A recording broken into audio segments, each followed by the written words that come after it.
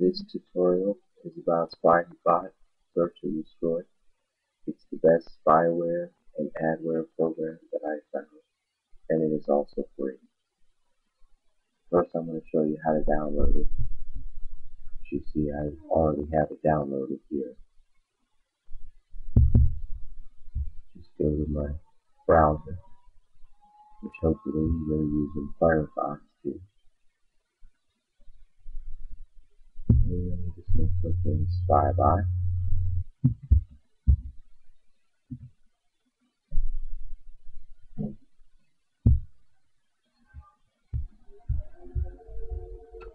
And I'm going to click the first one, SpyBot SDB.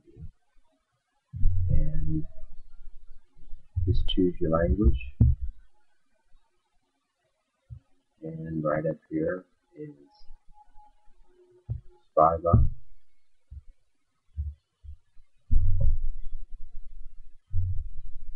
And then right here, download. You'll pick the first one here. And then go up here to download now. Save the file.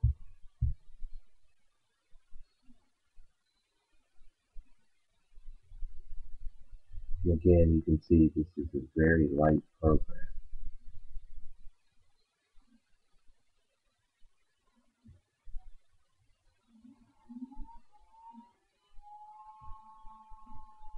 I'm just going to click it.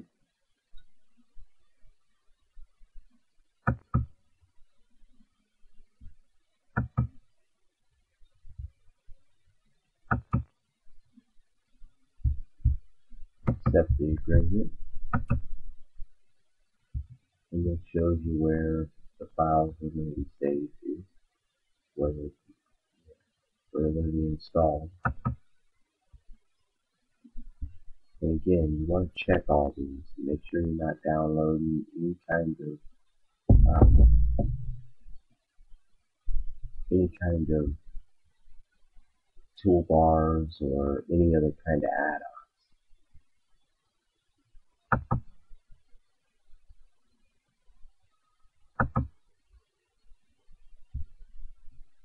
And I don't believe this one has it. So I've already I have already uh, downloaded this, so I'm just going to cancel out of it, close out of everything.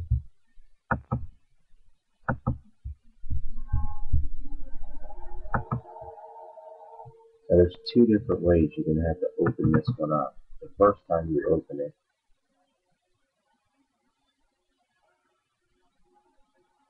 you just want to left click on it.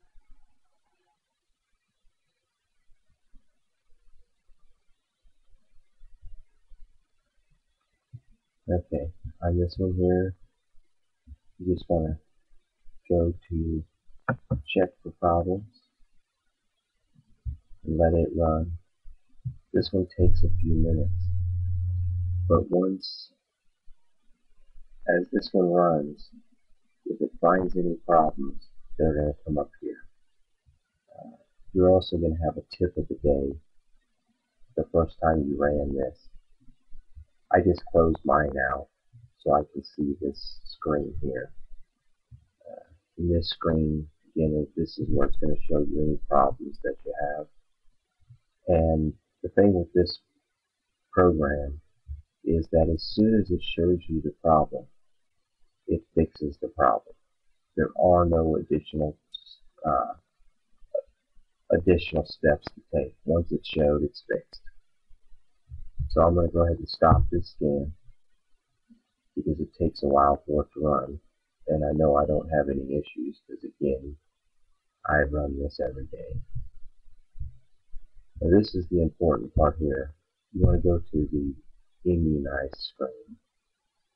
And when you run this for the first time, you're going to see how many ever files that you have.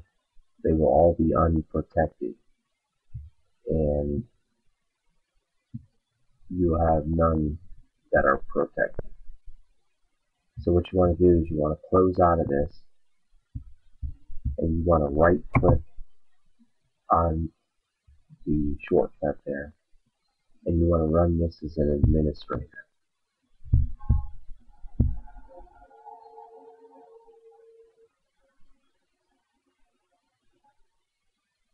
Don't run it as administrator, it will not be able to immunize all the files. And you click on immunize.